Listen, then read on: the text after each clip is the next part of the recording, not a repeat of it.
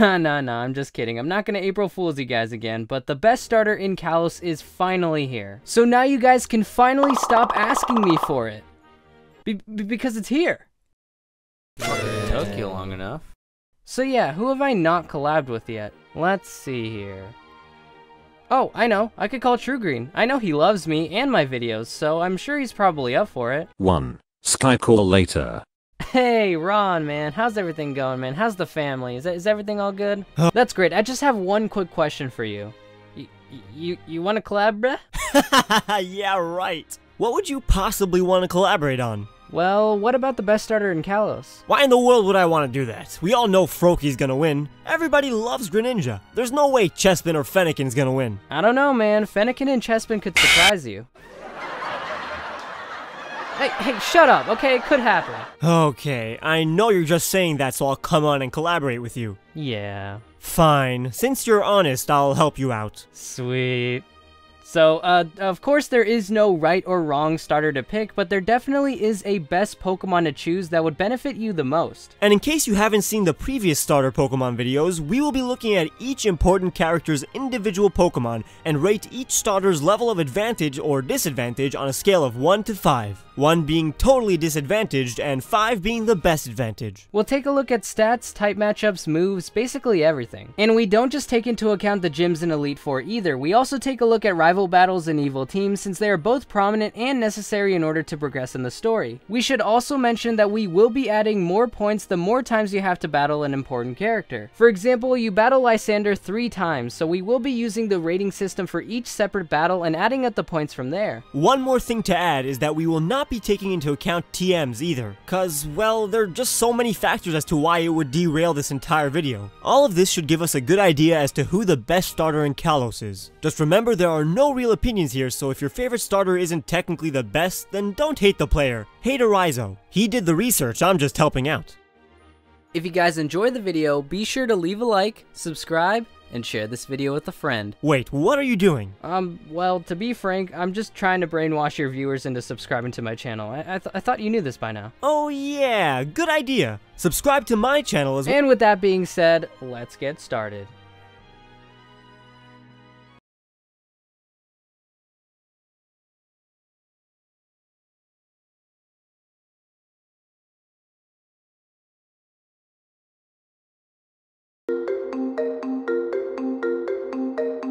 Okay, let's start off with the starter that I picked in Pokemon X, Chespin. So we're basically just going in order of the Kalos Dex. Okay, so let's take a look at Chespin's strengths. This Pokemon has one of the more easier starts to the game, and that's because of one move.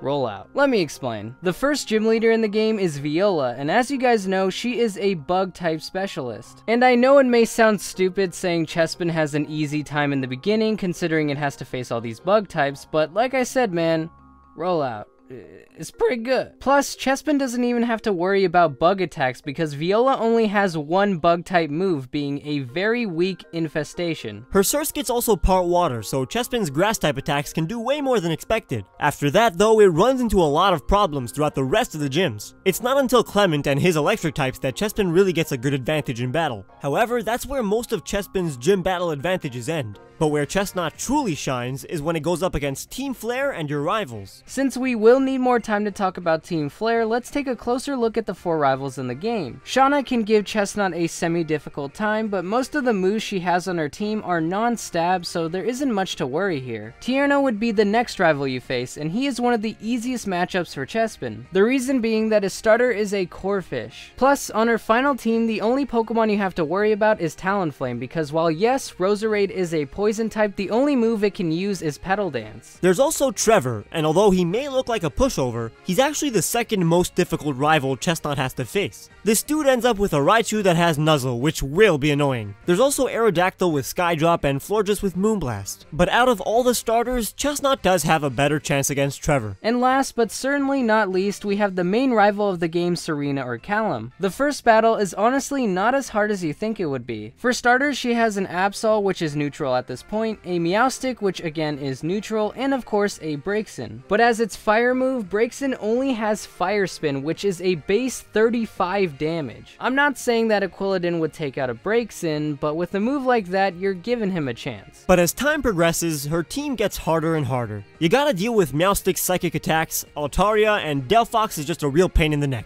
But what can you really expect from a rival? Now Eryizo, what makes Chespin so great against Team Flare? I mean, they have Flare in the name, so fire types must be an issue, right? Well, the new fighting dual type Chesnaught receives actually comes in serious handy against Team Flare. Let's start with the Grunts. As you guys know, the Grunts like to use a lot of dark type Pokemon. That means you will have to face a lot of Liepard's, Mightyenas, and Houndooms. And aside from Houndoom, Chesnaught would be the go-to starter to take care of those Pokemon. There are also a surprising amount of electric type Pokemon, and although Chesnaught can't hit it with super effective attacks, it does resist the type which can be useful. There are also the Team Flare admins, which are essentially just grunts with a bit stronger Pokemon. They have the same types of Pokemon that grunts do, dark and electric, but now with more of a focus on poison types as well, which can be a slight problem for Chesnaught.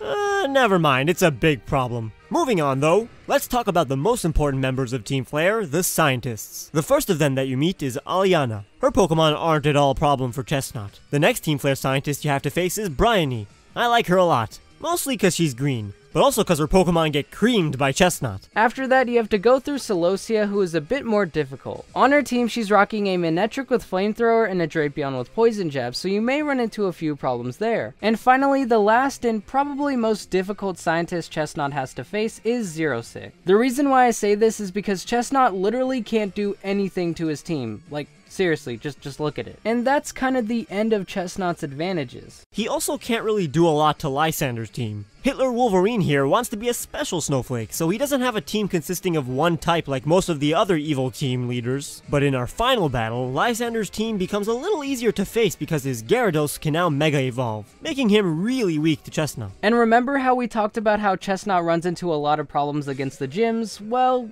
yeah, we should probably go over that. Let's start off with Grant. His first Pokemon Amaura has a killer ice type move being Aurora Beam, but you should be able to get through Amaura because surprisingly enough, this fat tub of lard is actually faster than Amaura, but Tyrunt's dragon typing will unfortunately make Quilladin's grass moves neutral. Now if Quilladin had that fighting type, this would be a very different story, but you won't get that until you're a Chesnaught. Next up, we have Korrina, who is a rather interesting character because she's the only gym leader that you battle more than once in this game. The first time you come up against her is in Geosenge Town, and she's toting two Lucarios. Again, at this point in the game, you just have a Quilladin, so you can't directly do anything against Lucario, and after a couple of power-up punches, this Pokemon can be a problem. Like, like a real problem. Run, Quilladin! Run! Run away, you chubby hedgehog! What's funny though is that Korrina really focuses on Lucario and how it can Mega Evolve, but in the gym, Korrina doesn't even use one. Like, what the man? Well, either way, her Hawlucha's Flying Press will literally end Quilladin's life and erase Chesnaught from existence. Basically, Hawlucha is the Grim Reaper of Chesnaughts. And if you think the pain stops there, then you're right.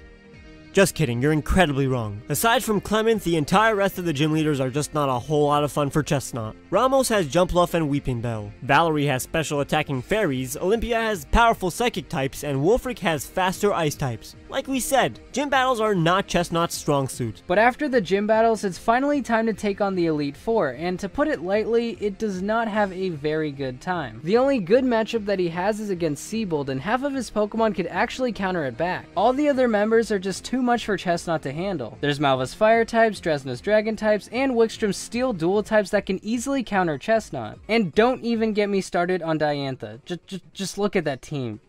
Ugh. So as you can see, Chespin does have some clear weaknesses in gym battles, but when it comes to repeated battles like Rivals and Team Flare, Chesnaught is actually pretty good there. But you know who is good at gym battles? This sack of cuteness. Yeah, you're right, Fennekin is surprisingly the most consistent out of all the starters in Gym and Elite Four battles. It starts off great against Viola, can handle Korrina in both battles even if it's not a Delphox, destroys Ramos, goes even with Clement, is the only starter that can actually handle Valerie and has no problem with Wulfric. The only problems that Fennekin has are with Grant and Olympia. Fennekin also has a much easier time than Chespin against the Elite Four. It has no problem with Wikstrom, is at pretty much a stalemate with Malva, aside from Chandelure, and well, Delphox struggles with the other two Elite Four members for obvious reasons. But Delphox definitely has the best chance out of all the starters against Diantha. The only Pokemon it has to worry about are Tyrantrum, Goodra, and some non-stab moves. The rest, Delphox can either counter or just straight up beat. But where Delphox really struggles is actually where Chespin really shines. It has by far the worst matchup against Serena, struggles with Tierno's Crawdaunt, does alright against Trevor, and struggles with two of Shauna's Pokemon. And remember how we talked about Team Flare's Dark types? Well, I think it's more than obvious that those are going to give Delphox some serious trouble. Yeah, the focus on Dark types really hurts Fennekin here. And it's not just the grunts, the entire faction itself puts a giant focus on Dark type Pokemon. Aliana, Bryony, Mable, Celosia, Xerosic, even Lysandre, and he has a freaking Mega Gyarados. Yes, they do also put a focus on poison types too, but again, there are more dark types than any other type on Team Flare. Yeah, Team Flare is definitely not fun for Delphox. Well, I guess all that's left to talk about is the last starter of the three, Froakie. And unlike Fennekin, Froakie thrives against Team Flare, just like Chespin, except maybe a little better. Froakie can take out a lot of Team Flare's Pokemon besides the electric types of course, but Greninja can definitely handle the more common types among Team Flare, especially those pesky Houndooms. I think what really works out in Greninja's favor is that it doesn't really have to worry about taking super effective hits. Like with the Team Flare Scientist, the only one Greninja really has to worry about is Celosia's Manectric, which Greninja can also outspeed. Besides that, there's little to no threats besides the occasional non-stab bug moves. Sometimes just being neutral with everything is good enough. And finally, there's Lysandre, and out of everyone on his team, the only Pokemon you have to worry about is Mienshao the rest of the Pokemon are either weak to it or just stay neutral. But Greninja is not without its weaknesses as well. Like Chesnaught, this valiant shinobi frog struggles with gym leaders too. In fact, from Korrina to Valerie, it gets completely destroyed. That's basically the entire mid-game. You do get a break with Olympia, but it's right back to being annoying once you get to Wulfric and his Abomasnow. But at least with the Elite Four, it's not as bad as it is in the gyms. It does well against Malva and Wikstrom, but pretty much against everyone else in the champion, he struggles. But is the struggle with the gyms in the Elite Four enough to completely derail Greninja from the conversation? I guess the only way to find out is to tally up the points. So after tallying up all the points, the definitive best starter in Pokemon X and Y is... Froakie. Hey, I thought you said Fennekin and Chespin had a chance. Uh, yeah, and they did. Never said one of them was gonna win, though. You know, I'm not even mad. This just confirms what we all assumed from the very beginning. Well, yeah, but let me explain. What Froakie had that the other starters just didn't was speed. Because when you're in a matchup where both sides have super effective moves, most of the time the faster Pokemon will win. Chesnaught has no speed, and Delphox may have a little speed, but it's nowhere near Greninja's. But that's obviously not the only thing. Where Delphox went wrong is that in the reoccurring battles like Team Flare and the Rivals, it struggles a lot. But in the battles that you only have to fight once like gym battles, Delphox excels in. But since you have to fight Team Flare and the Rivals more than one time, in a sense they do become a bit more important because they are going to be a reoccurring problem. But if this was just about gym battles in Elite Four, then Fennekin would be the clear-cut winner. Yeah, that's definitely interesting to know. And I can see where Chesnaught fell flat. It followed the same pattern as Greninja, being strong against Team Flare and the Rivals, but unfortunately for Chesnaught, Team Flare loves to use Houndoom. And since Houndoom is faster and is a special attacker, there is no way Chesnaught is going to beat Houndoom. So basically, Greninja did Chesnaught's job a bit better. Yep, in the end, the biggest factors to Greninja's win are its unmatchable speed and its neutralities with Team Flare. The best starter in Pokemon X and Y is Greninja. Okay, now that we know which starter is the best in Kalos, I think I'm gonna ask an even greater question. What is the best Pokemon generation? But first we gotta figure out how to determine such a thing. So why don't you guys click the annotation on the left to go watch that video on True Green 7's channel. And if you guys are here from Ron's channel, then why not check out the video on the right? It's, it's pretty good. And with that being said, I will see you guys next time.